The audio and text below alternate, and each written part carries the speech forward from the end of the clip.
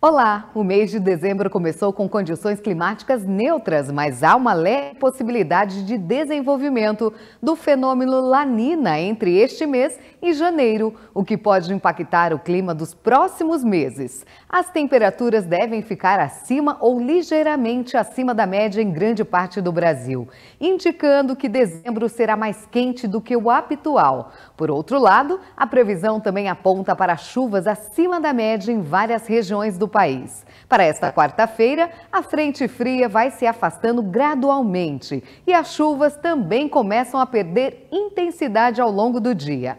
Ainda são esperadas pancadas fracas a moderadas em algumas áreas, mas o sol deve aparecer entre nuvens a partir da tarde, trazendo assim períodos de melhora. Mas vamos saber como fica a previsão para Montemor.